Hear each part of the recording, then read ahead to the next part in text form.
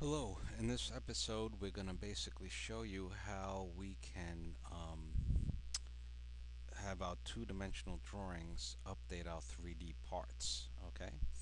Uh, in other words, we're going to show how you can have the bidirectional editing, whether you edit the part in 3D or 2D, where both files will update, okay? So let's get started. The first one thing I'm going to do is create a 3D part that we can create our um, drawing from. And what I'm going to do is I want to make sure my constraints are set up. I want my uh, perpendicular, horizontal, vertical. Okay, that's good. You don't have to do this, but I just like to do that. So I, it's more predictability to it. Alright, I'm going to just draw a quick polyline here.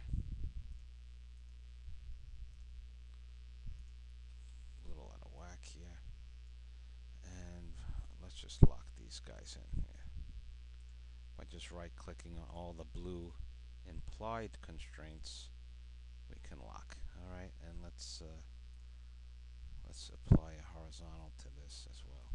Okay? Oh and we'll put lock that one and lock that. I'm just locking it so I know when I edit it I have predictable results okay?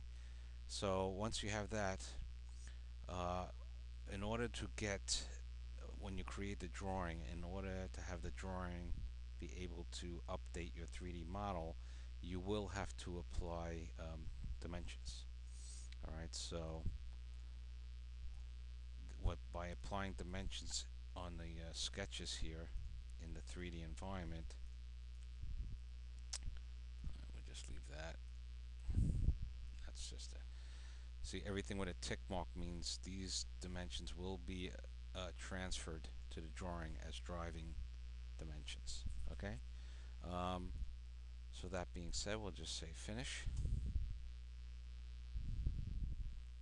And we'll just drag this down.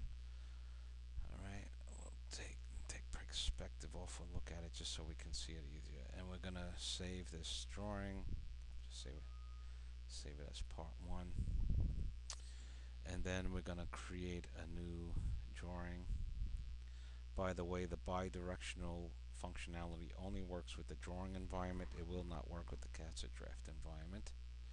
Just so you know. Maybe in a later date they will add that but currently in 2014 it's uh, not in the CAXA draft uh, alright so we're in the typical IronCAD um, environment drawing environment. I'm just going to apply some views and you see the drawing, the dimensions come um, transferred over. Okay, so now if you let's say we want to make this block um, three inches long here, this edge. Uh, you see when you hover over a dimension, you get that double box over it. That's indicating that this is a driving dimension back to the 3D part okay if you apply regular dimensions here now on the part like this.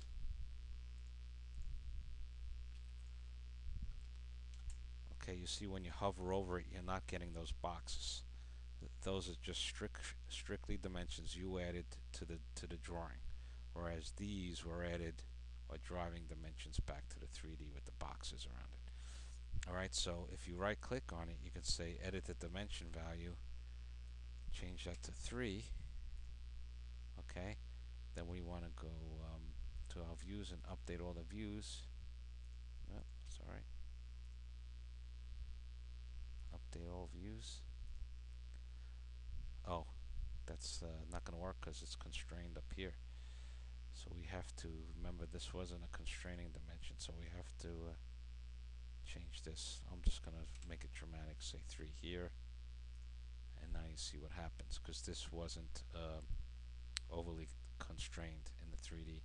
So we updated the drawing here by editing this dimension and if we go back to the 3D you see it's been updated as well.